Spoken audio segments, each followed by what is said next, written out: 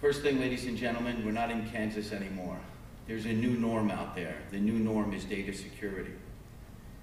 Data security and privacy laws are requiring more and more of settlement service companies, and they're requiring more and more that we protect the private and sensitive information that we traffic in.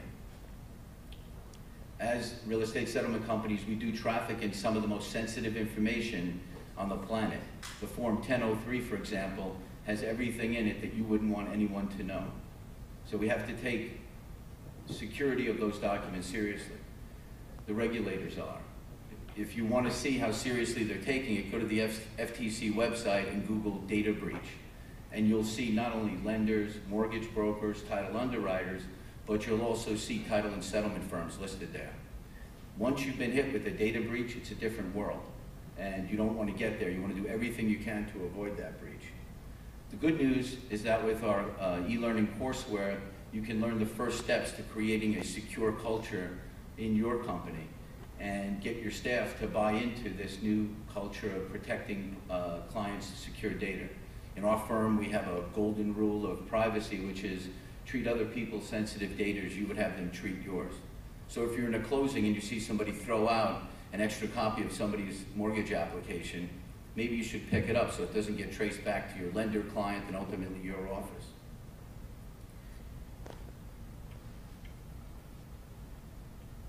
Imagine this.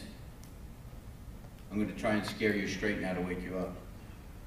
You get a letter one day, your largest referral source has just shut you down. Somehow a 500 document data breach has been traced back to your office.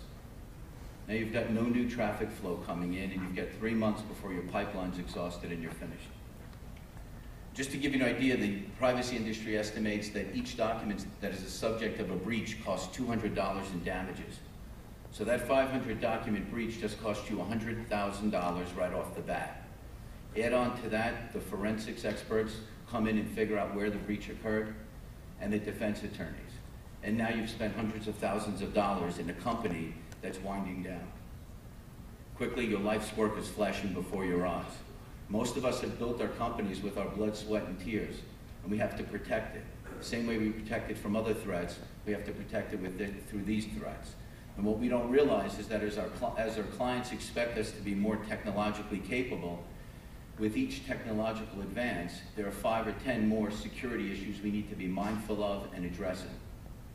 I was just at a Department of Homeland Security cybersecurity conference, and an FBI and, and a Secret Service agent who were speaking uh, admitted that their mothers gave them a virus by sending them an email without realizing it. So it hits everyone.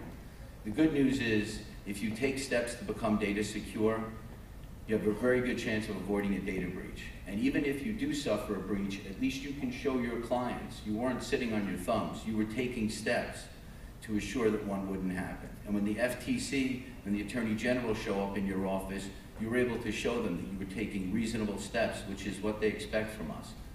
But you have to stay current in this because what's reasonable today may not be reasonable tomorrow. Ten years ago, it wasn't reasonable for the FTC to expect us to be encrypting documents. Well, it is now. And in three or four years, what they expect as reasonable will increase even more.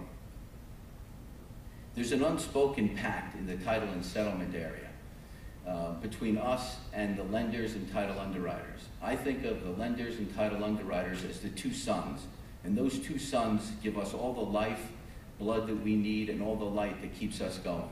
And what do they expect from us? Well, in addition to superior customer service, local title and settlement knowledge, you as an owner actively managing your business to ensure there are no post-closing issues. You have to be transparent. You have to be technologically proficient. What they really want and expect at the end of the day is trust. Absolute trust. Trust that you're not going to steal their money and trust that you're not going to lose their data and involve them in a data breach that has them on the cover of the New York Times. So, we have to protect that trust.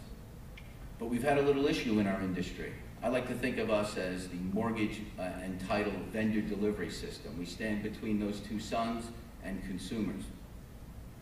We've had an earthquake, and what that earthquake has been, you'll all hear more about over the course of these two days, is defalcation. The bad apples in our industry have threatened well, our delivery system. And they're making the banks wonder, is this a viable delivery system? Well, if on the heels of that, they start getting hit with data breaches, we're not leaving them many choices, are we? So we need to rebuild their trust, and we need to raise our bar, raise our standards, and demonstrate to them that we are a viable, caring, smart, and proactive uh, vendor delivery mechanism. Look at the mortgage broker industry. If you think this can't happen to us between 2008 and 2009, the bad apples in the mortgage broker industry caused that industry to suffer a 70 to 80% market share loss. Could you imagine that happening in our industry? But we're teed up for it because we've already suffered through our colleagues defalcating client money, lender money, and now if we go through all these data breaches that we all seem to be like ostriches pretending that it doesn't exist, and if we have a second uh, earthquake in our industry, these national lenders and title underwriters will really question the viability of doing business with us. So, data security, it's really a negotiation of interests. Do I want to spend the money, time, and effort, or do I want to build and keep my client's trust and make sure everything I work so hard to build isn't lost? You have to juggle those interests. What I've done is bring together a group of leading experts. Professor Paul Schwartz is one of the, from Berkeley Law School, is one of the leading experts on data privacy and data security. He studied our industry, he studied the laws that apply to our industry.